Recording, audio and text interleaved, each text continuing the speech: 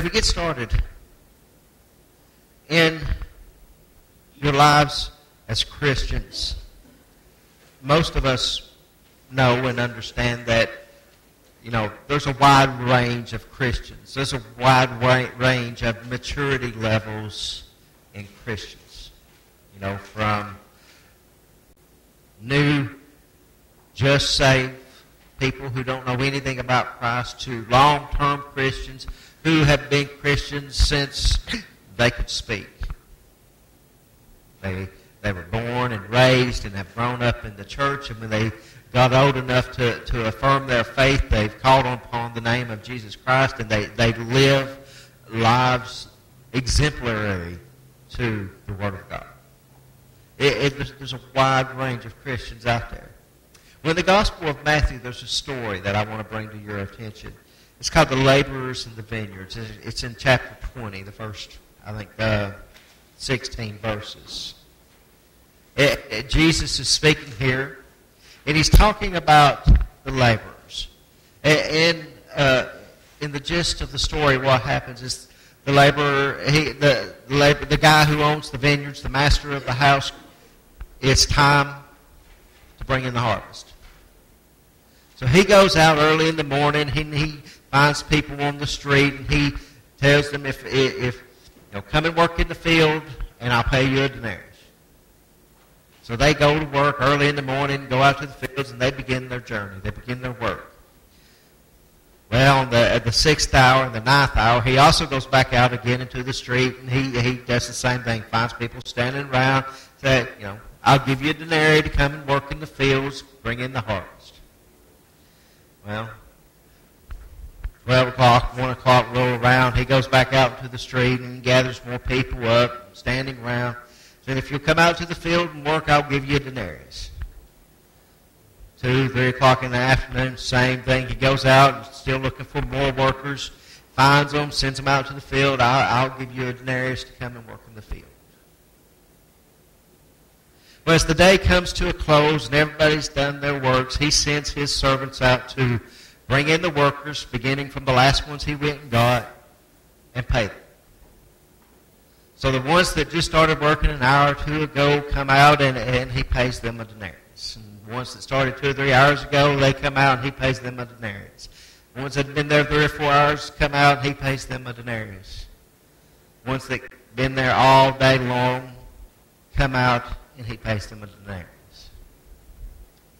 Well, the people who had been there all day started complaining and moaning and, and groaning to the master of the house, saying, You should give us more. We, we've worked all day long. And, and the master of the house says,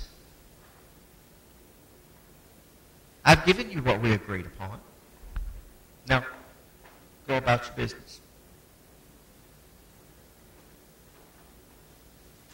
Now, as Christians, this applies to us for the simple reason that there are many of us who have started at different times in our lives. Some of us have grown up in churches. Some of us have got saved later in life. Some of us just now are beginning in Christianity. And we're at all different levels of that walk of life.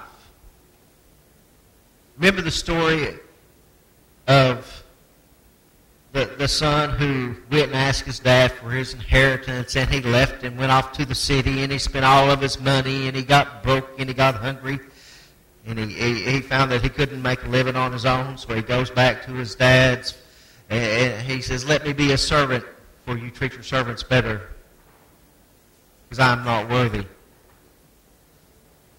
And his father greets him and he grabs him and he hugs him and he says, Come, let's have a feast. And he, he kills the fattened calf and he has a big old party for the son that come home. And, and the, the brother who had been there the whole time gets angry with, with his father and says, What are you doing? You've never killed a fattened calf for me. And the father said, My son was lost, but now he's found. You should rejoice. You should be glad. Both of those stories,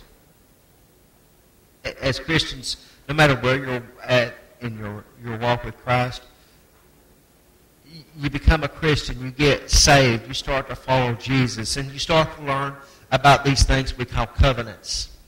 These promises that God has made to us. And it doesn't matter if you've been a Christian all your life or if you just got saved this week. All those covenant promises are yours.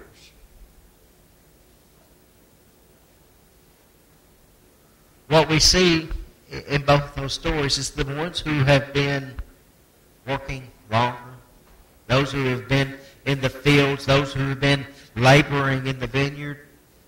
Every now and then, we get a little jealous when, God bestows all that blessing, all that promise on those who just are getting to know Him. They're just now meeting. You know, and, and both both these stories show us where the master of the house, that would be God, Jesus Christ, looks at his servants who have been with him all the time, and he says, All that I have is yours. I haven't broken my promises. I'm not showing favoritism. I'm not giving them more. I'm giving them the same thing that I give you. You see, that's, that's the glory of God's salvation. Is He has made all these promises. He has told all His people, if you do these things, then I will do these things. And He put no time limit on it. God, Jesus Christ, the Holy Spirit blesses those who follow him, right? I mean, we, we tell me, do, do you like it when God answers your, your prayers? I, I like it when God answers mine. I kind of know He's there when my prayers get answered. I kind of, it kind of fills me with, with the joy of God to know that when I pray according to God's will, according, according to God's word, and His word comes to pass, it shows me that He is truth and that He is life. And He is holy because He keeps His promises.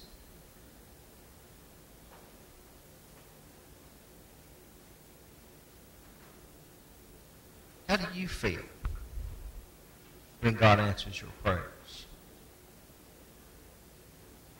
And most of you agree that you like that, right? But when you look out into the world and you see these new, immature Christians that abuse the Word of God and they take their misconceptions and, and they, they try to say that God's Word says things that it don't say, but they do know that Jesus is Lord and Savior, and, and their prayers are getting answered, and things are happening in their lives. And you look at and, and you think, my goodness, they have so much they've got to learn. I can't believe God would do that for them, knowing that I can't believe God answered that prayer. Did you hear the way they prayed that? Don't they know what God's Word says?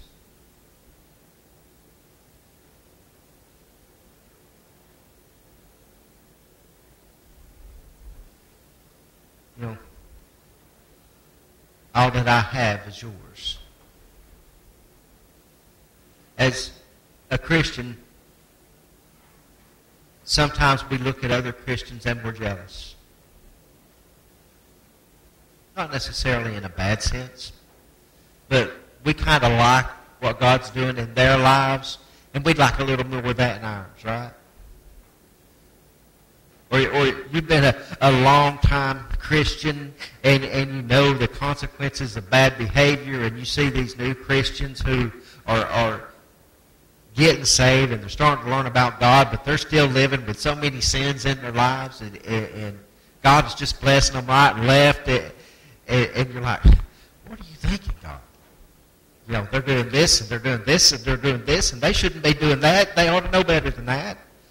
Boy, if I did that, you would just chastise the fire out of me.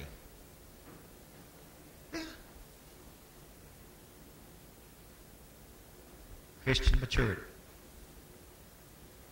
The more you know, the more you hope you're accountable for. But if you think back, been a Christian for a few years, or you were raised in church and you were taught at very young ages to behave in certain ways and to do certain things because that's God's, God's command, and, and you live with a blessing because you follow that. Day in, day out, week after week, month after month, year after year, you have received all these blessings.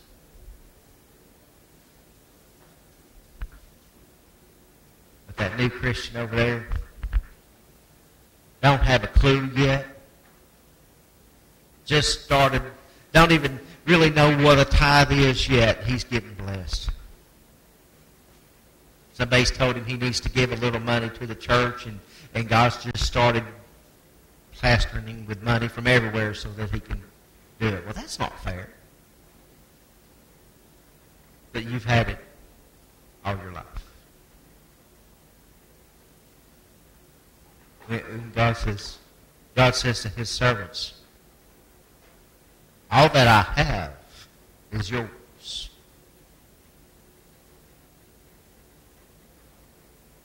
All that I have, I've given to you. You are in my house. You're part of my family. You live in my blessing.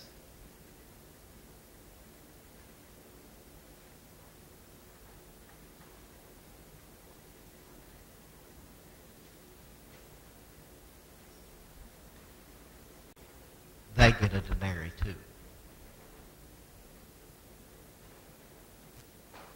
He promised to give you what was his. And he does. Because you know him. You seek him. You search him. Because you labor in the vineyard.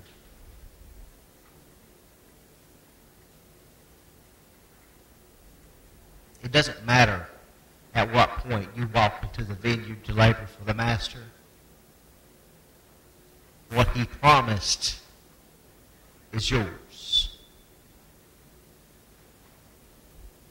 Are you receiving the blessings of God? Is God answering your prayers?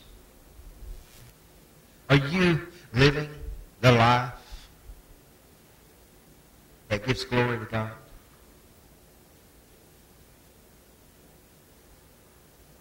You know, all that He has is yours.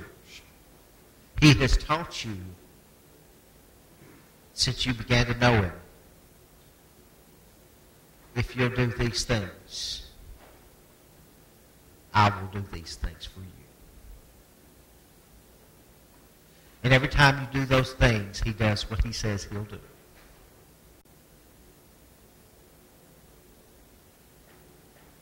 Mature Christians rejoice when they see that new Christian receiving those blessings. How much grace has God given you in your life since you have found Him? Since you began to seek Him? How many answered prayer? How many times of grace? How many times have you had to say, forgive me? think about all the years of grace and love and mercy and forgiveness that God gives to you, that God has given you, and compare it to those who just come to work. Sometimes it seems like they get away with a whole lot more than we do, doesn't it?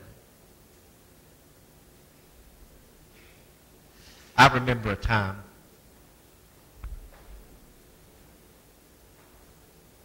when God's mercy and grace seemed to be a whole lot more than it is now. I remember when I when I first got saved, how people would come up to me and say,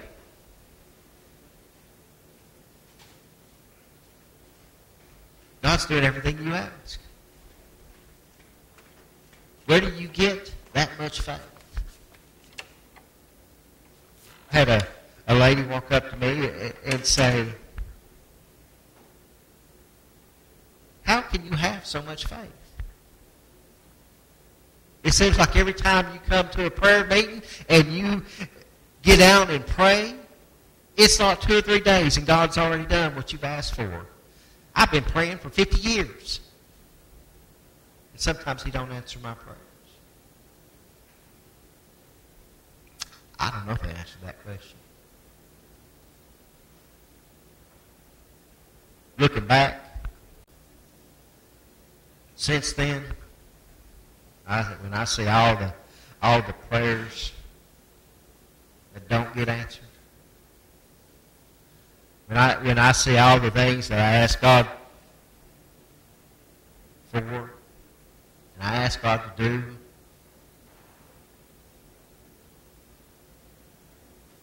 now now I see more things that don't happen than do. And don't get me wrong. God still answers a whole lot of prayers that I ask. But the maturity level, why I'm asking, how I'm asking, my obedience,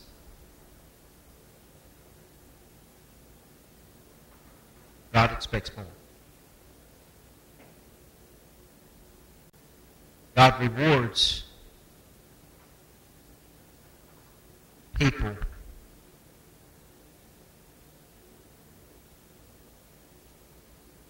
because he made promises.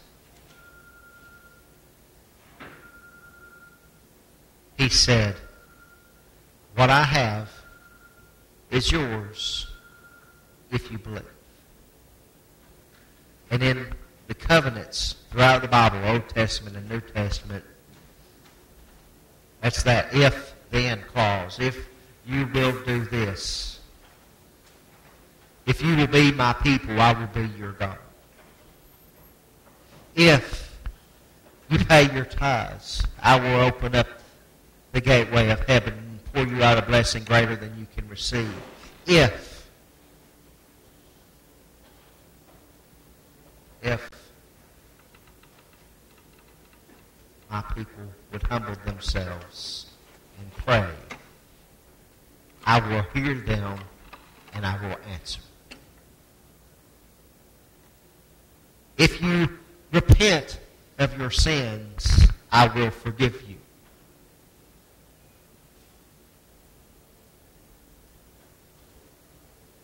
Those are promises. There's so many of them I couldn't even begin to name them all in the service. But every time that you see a prayer, every time that you see that commandment, if you do this, then I will do this. That's the choice you have to be obedient or not to be obedient. If you don't, confess your sins, then I won't forgive you for it. If you don't believe in me, I won't save you. If you don't turn around and walk away from my sin, from your sin, I will allow you to live in it and allow you to pay the consequences for it. If you don't forgive them, I won't forgive you.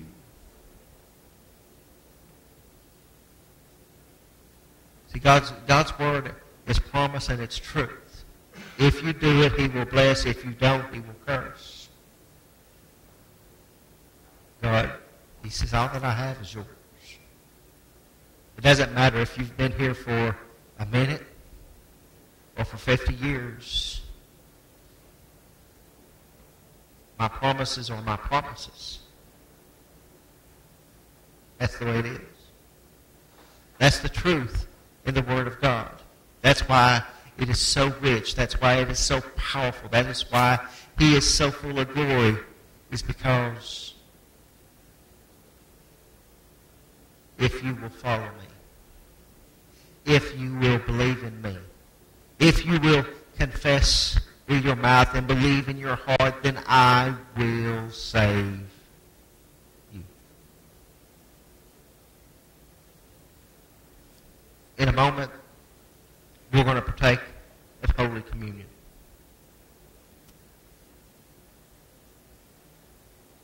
And as we prepare to take Holy Communion, I want you to think about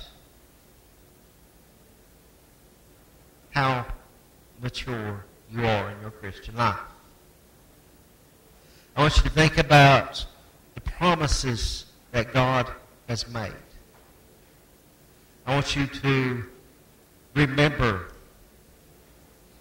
the things that God has done in your life. Day in and day out since you met Him.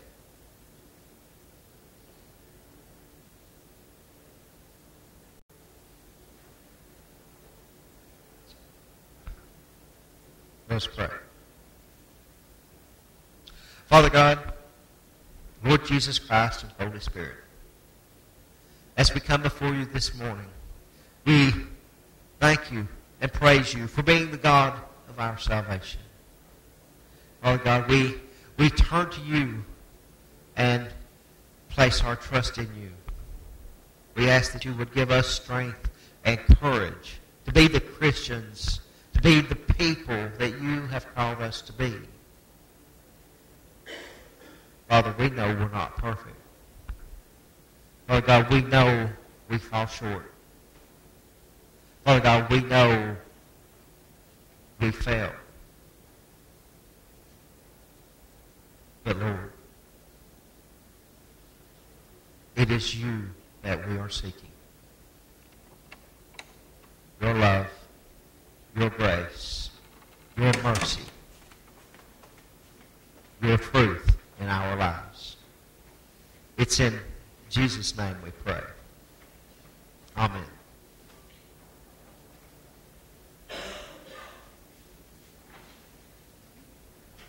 Now, as we enter into Holy Communion, George and Jane, would you step front? the Apostle Paul reminds us that on the night the Lord Jesus was betrayed, that he had took bread, and when he had given thanks, he broke it. And he said, This is my body, which is broken for you. To do this in remembrance of me. And he lifted, he lifted the bread and he he broke it. He tore it apart.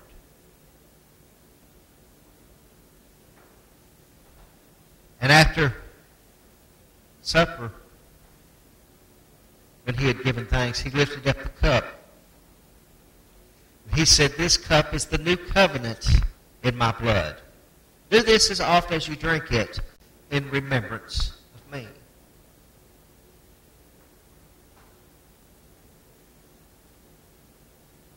in remembrance of me. As the elements are passed, please hold until all have received.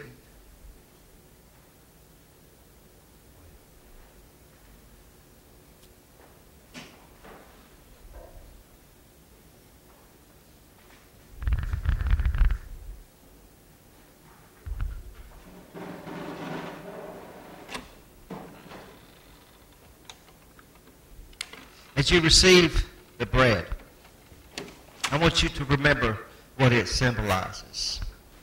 The bread is the body of the Christ. This is God who was born as man through the Virgin Mary, who lived a perfect and holy life under the law of God, who was judged for our sin, was accused, arrested, tried, prosecuted, and convicted for our sins because we demanded his life.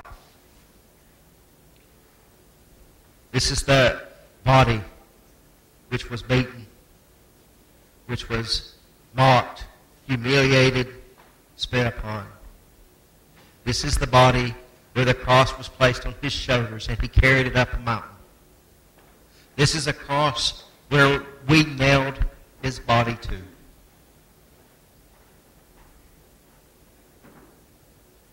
This is the body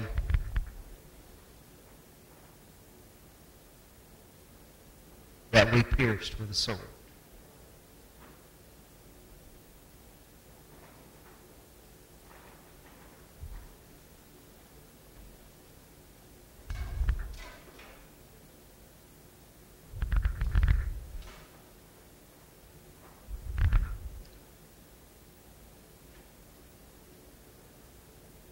and the cup.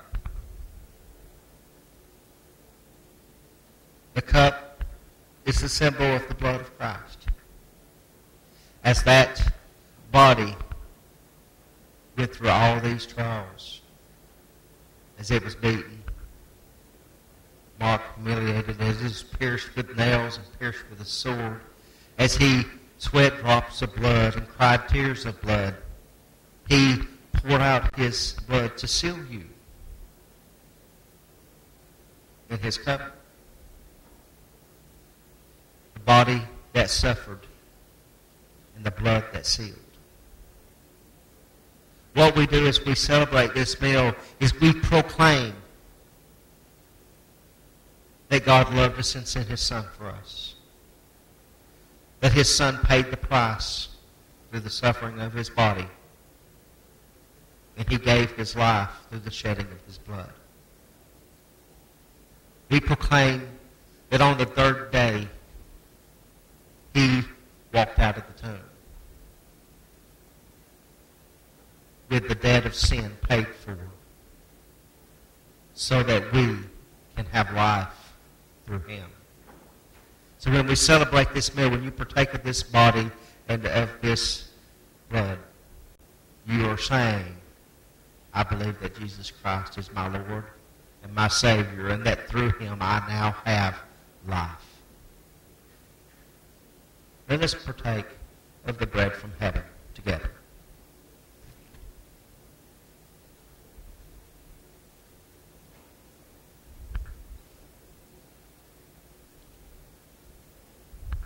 And let us partake of the blood of the new covenant together.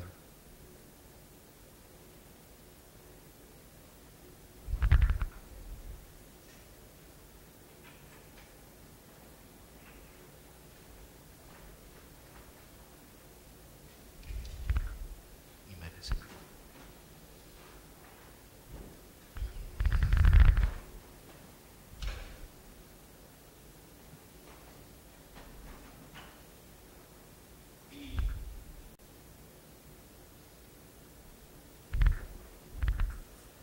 As we prepare to close today's service,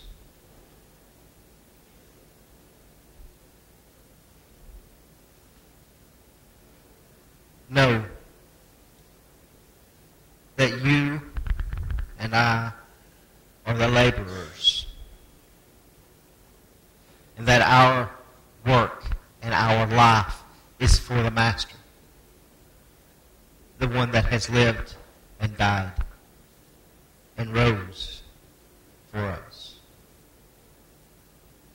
Let us call upon his name and trust that he will fulfill his word in our lives. In Jesus' name I pray. Amen.